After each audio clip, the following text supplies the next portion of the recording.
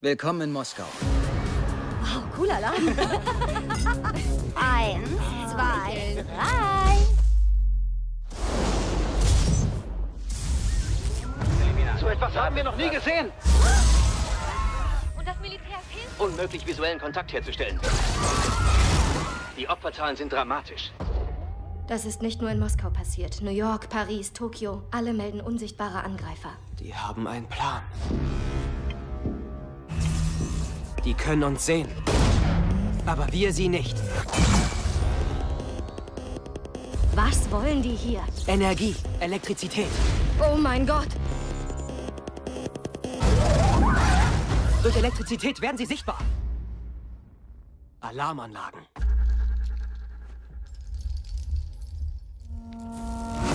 Los, los!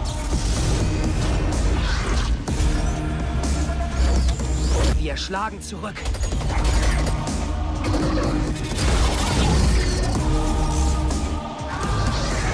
Tut es!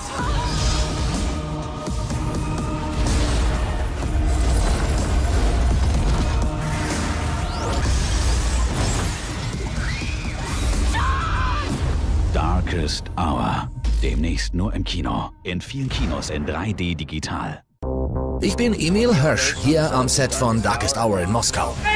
In Moskau zu drehen war eine großartige Herausforderung, ein tolles Abenteuer. Wir haben mitten auf dem Roten Platz gedreht, während die Sonne unterging. Das war wirklich beeindruckend. Willkommen in Moskau. Cooler Alarm. Eins, zwei, drei. So etwas haben wir noch nie gesehen.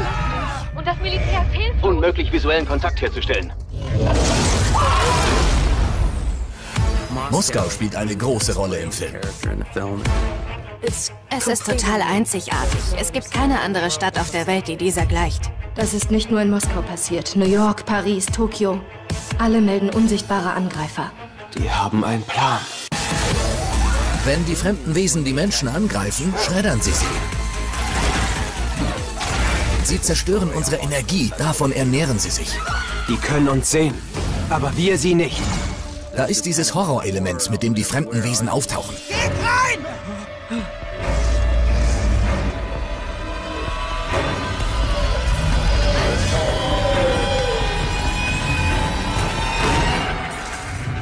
Sie haben den Polizeiwagen aufleuchten lassen. Durch Elektrizität werden sie sichtbar. Sie beginnen im Laufe der Geschichte mehr und mehr über die fremde Intelligenz zu lernen. Was wollen die hier? Energie, Elektrizität.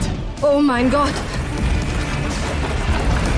Und schließlich verwenden sie die Glühbirnen als Alarmsignal, wenn die fremde Intelligenz kommt. Los, los! Sie haben diese Mikrowellenwaffe gebaut, um damit die Schutzschilde der Wesen zu zerstören. Tut es! Sean weiß, dass er Risiken eingehen muss, wenn er überleben will. Wir schlagen zurück. Da ist diese unglaubliche Spannung. Wie kommen sie aus Moskau raus?